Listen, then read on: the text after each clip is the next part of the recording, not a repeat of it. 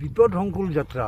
ইয়াতে বিৰাট অসুবিধা হয়। ল'ৰা ছোৱালীবিলাক কেতিয়াবা পৰি যায় আৰু ধুমুহা আহিলে ৰছী টানি টানিও যোৱাৰ অসুবিধা হৈ যায়।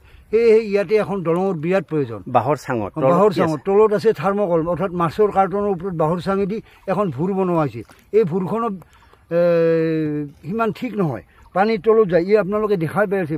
আমাৰ ভৰিবিলাক পানীৰ পানীত ডুব গৈ যাই আছে। আৰু ইপিনে ল'ৰা ছোৱালীবিলাকৰো বহুত অসুবিধা হয় যাতায়াতৰ ক্ষেত্ৰত। ল'ৰা ছোৱালী যেতিয়া স্কুলত যায় তেতিয়া আমাৰ অভিভাৱক আগবাঢ়ি আহে। আহি তাৰমানে ইয়াতে বহি থাকে বা নিজক কিছুমানে পাৰ কৰি দিয়ে। আৰু ভয় লাগে এটা কথাই যদি ল'ৰা ছোৱালী পৰি যায় ইয়াতে যেন কেনেকৈ বচাম এইটোৱে তাৰমানে আমাৰ অসুবিধা। এই ঘাটটোৰ নাম কি?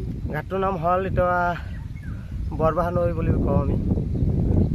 মন্দিৰ এনচি নাই নাই মন্দিৰ আনিছে নাই মালিগাঁও সত্ৰতে কৰি মালিবাৰী সত্ৰত কিমান দিনৰ পৰা এনেকে? এনেকৈ আজি প্ৰায় আমাৰ পাঁচ ছয় বছৰ হ'ল চলি আছে আমি। পাঁচ ছয় বছৰ ধৰি এনেকৈ চলি আছে। কিমানজন উঠিব পাৰে এবাৰত?